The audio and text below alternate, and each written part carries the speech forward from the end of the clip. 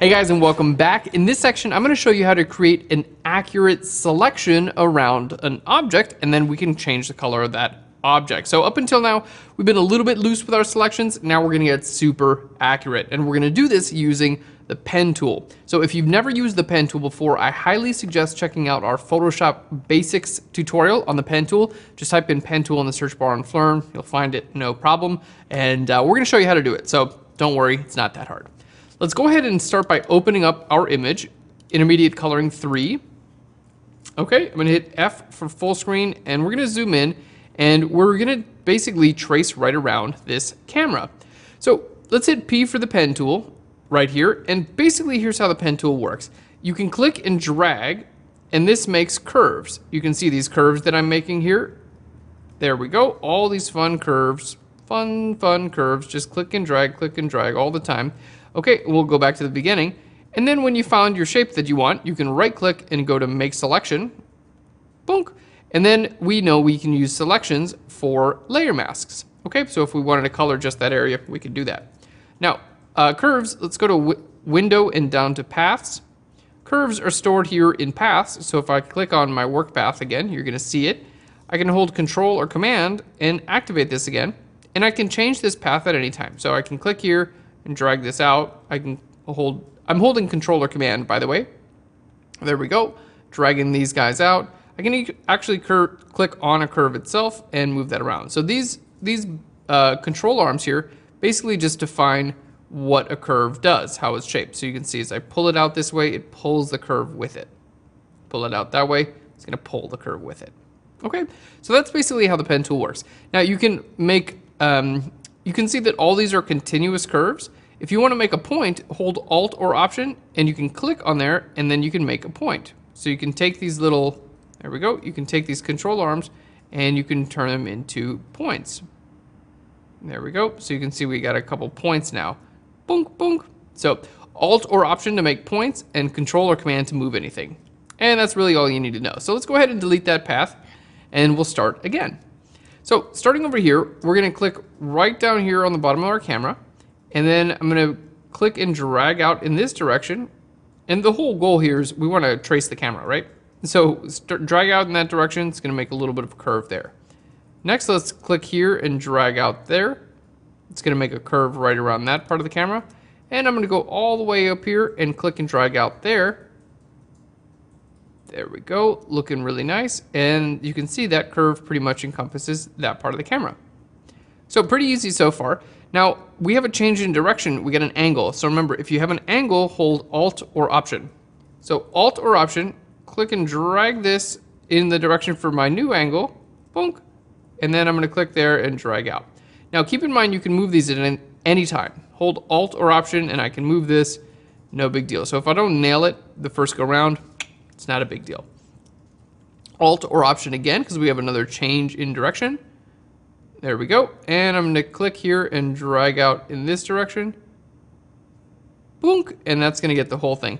Now, it does, it, you can see it kind of goes up there and it dips in a little bit. If you need to add a point, just click anywhere on your curve and just click right there and you can add a point and then you can hold control or command and move this if you want to.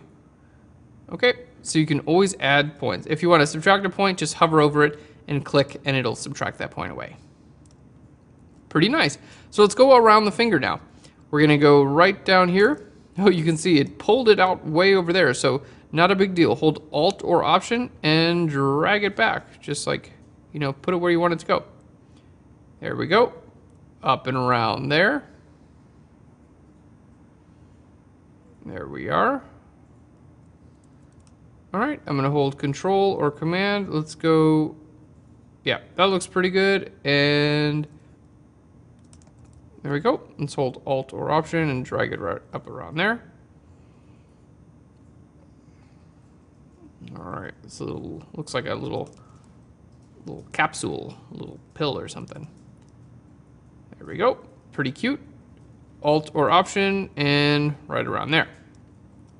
Okay, now for the finger, we're just gonna kind of click and drag. So, uh, you know, click and drag right at the edge there. Same thing here click and drag. All right, same thing there. if you need to move a point, just hold control or command and you can move these at any time, okay? There we go. I'm gonna bring that right into there. We got a little bit of a change in direction going on here. So let's hold Alt or Option to change direction. Bonk. Another one, Alt or Option to change direction.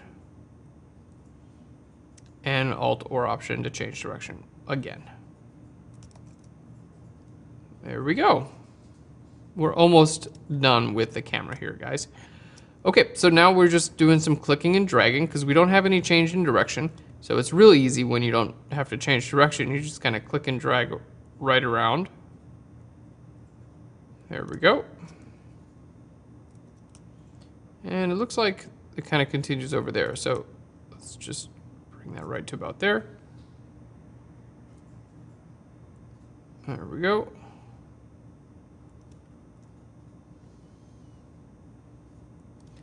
Okay. And we're almost done with the camera body now. So let's try clicking here because we got one big curve. So I'm gonna see if I can just take care of it with, uh, you know, with one curve there.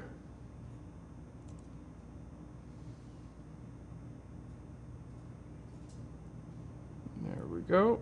Let's bring that right in and hold Alt or Option. Okay, and we're almost done with the camera body, guys. I know it seems like a bit tedious, but this is a really, really great way to make selections because they're very accurate.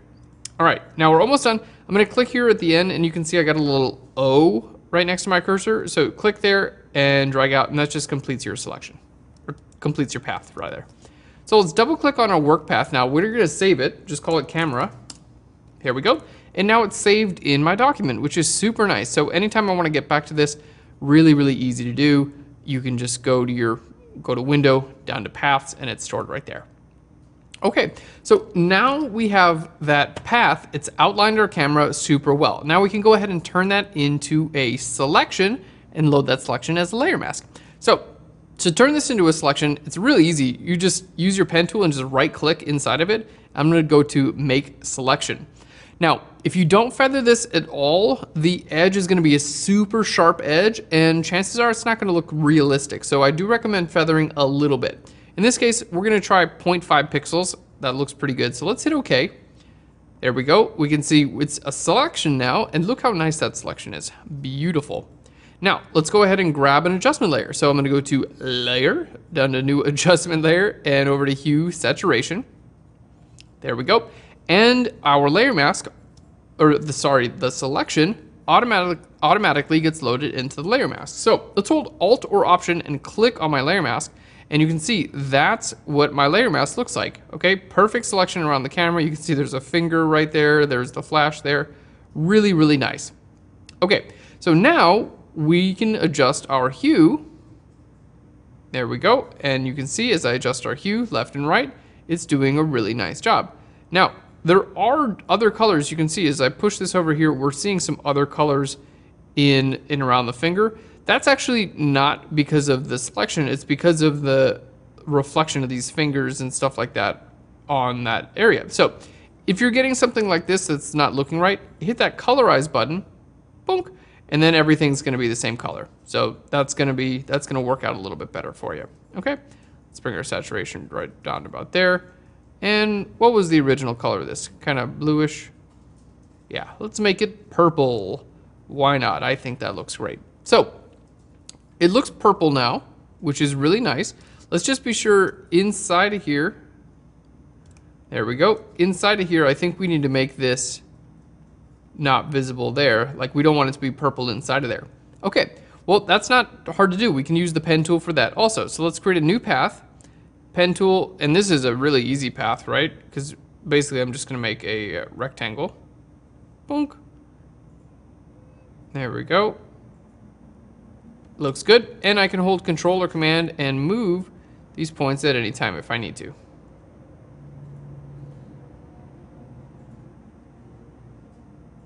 All right. There we are. That looks good. Now let's right click, I'm gonna go to make selection, same feathering, and then here on my layer mask, I'm just gonna go to edit and down to fill, and we're gonna fill this with black. So I don't want it to be visible right there. Okay? That's basically just gonna get my original detail back from, from that little area there. Okay, so we've done a really nice job coloring our camera. We get a great selection. Now, there are a couple more things we wanna keep in mind. Um, remember, we got the finger is like right on the camera, so colors bounce around all the time, right? So we need some of the color from the finger to then be on the camera as well, even after we changed the color of it. So really easy to do. What we're gonna do is create a new layer, B for the brush tool, and I'm just gonna sample this color of the finger right there, okay? And I'm gonna change my layer blend mode from normal down to color. All right, and then we're just gonna paint here just like pretty subtly. Again, I'm using a soft edge brush here. There we go. Nice soft edge brush. And we're using a low flow. You should use a flow of about 20% here. There we go. And it's basically just gonna get some of the color from your hand or whatever object it's kind of touching it's going to transfer onto the camera and that's going to help it look much more realistic. So let's just zoom in here and turn this off and on. You can see, there we go, looking great. I may have gotten a little bit too much for it here. Just hit the eraser tool. You can use a low flow for the eraser tool and erase it right away. There we go. That's looking nice and real. Now, also, the pill, this little flash thing is kind of interesting because I think it is actually getting a little bit of the color from the uh, from the the camera. I think it's like semi-transparent there. So what we can do is we can we can color this as well, right where the pill is, but we can just use a lower opacity. So what I'm gonna do is duplicate our hue saturation. Let's go just go ahead and duplicate this. There we go. Now I'm gonna make the layer mask black. So I'm gonna hit Shift Delete and we're gonna fill this with black. There we go. And now I'm gonna paint white on the layer mask just right over top of this pill. Just with my little brush tool.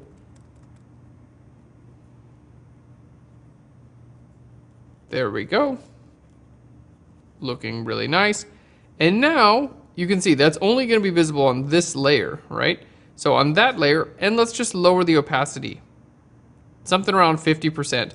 So it does have that color in there, you know, just like it had a little bit of that green color in there, it's got a little bit of this color in there too, but it still looks like it's a, it's a separate color. So at opacity of 100%, it doesn't look right. Here at 50%, that's starting to look pretty good. Yeah, I think right at 50% is exactly where we want it. So a little bit of that color kind of coming in from there. And then of course, right on top here, we have these guys selected as well. Now, we are almost done here, guys. We do have the cord that wraps around uh, the person's hand, and we're gonna go ahead and do that as well, and we're gonna get this done with the pen tool also. We've already made a pen path. Let's go ahead and make a new one, and I'm gonna call this cord. There we go.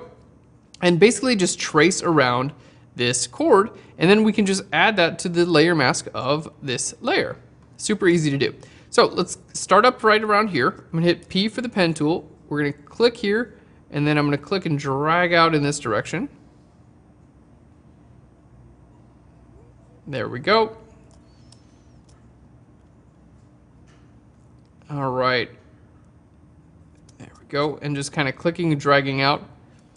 Now, in general, you want to use as few points as possible because that's going to help you make a really nice smooth curve.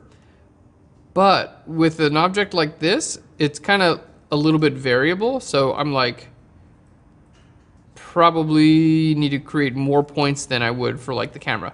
Remember how the camera, we just made a point for here and then we did this whole area and just one more point there. We had a really nice smooth curve there.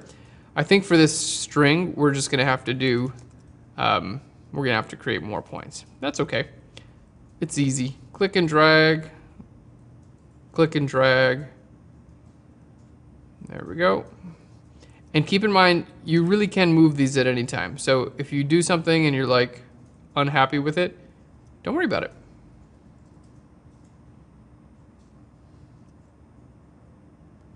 There we go.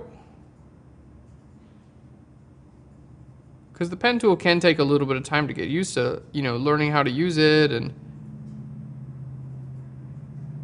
you know, getting getting faster with it. Like this, I want to bring that point in. So I'm going to hold control or command and click on it and then just bring it in. See? All right. And then going down here, this pulled out in that direction. So if you need to change the direction of something, Alt or Option, and that's going to allow you to change the direction of something.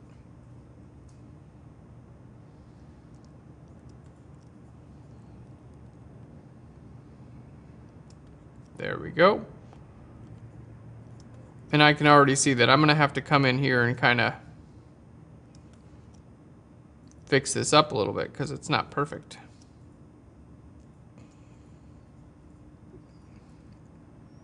All right. Luckily, it's easy to do. And that's why we use the pen tool. So let's go ahead and bring this over there. I'm going to hold control or command and click on it and then you can just move it. Sometimes it'll select like the whole thing. Just make sure that, there we go. You Sometimes it'll select like, if I'm out here and I try to select the whole thing, it'll move like a curve. So just be sure, continue to hold control or command and then click on the thing you want. If you're moving a control point, just make sure it's black. See right now when I just click on the whole, uh, the whole path, none of these little control points are filled in with black. You see, it's got a, it's not filled in, but if I hold controller command and then click on that one, it becomes black, and then I can move just that point. There we go.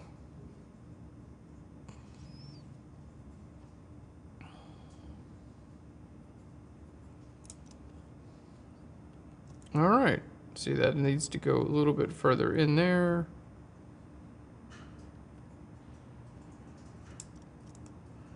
That's going a little bit outside of it, so I just need to adjust it right over there. The big benefit of the pen tool is that you can adjust this stuff really whenever you want. I don't even think we need that point there, so I'm just going to hover over it and click there, and it's just going to remove that point for me.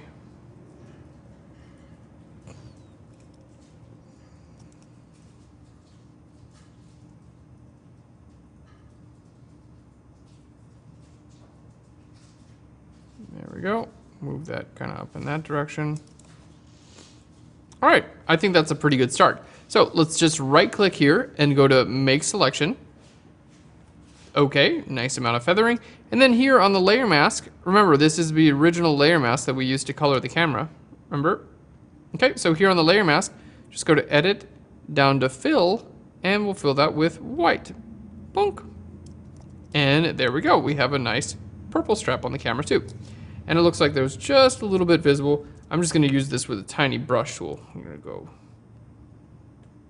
tiny, tiny brush tool just to get that done. All right, that looks good. And then remember that's the 50% visible. So let's go ahead and close that out.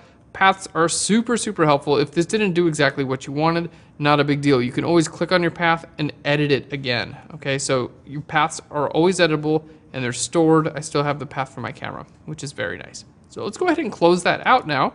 And we can see we've changed the camera. It's a super accurate selection, which is really great. And now we can change these values at any time. So uh, if I want to go back to like a yellow type color, there we go. There we go, something like yellow. Just remember we got 28 and 28. And then this, remember we did, um, this is a reduced opacity. So I just want to make sure that these numbers match. There we go. And that looks perfect. So let's go back. Let's do like a pinkish color. Okay.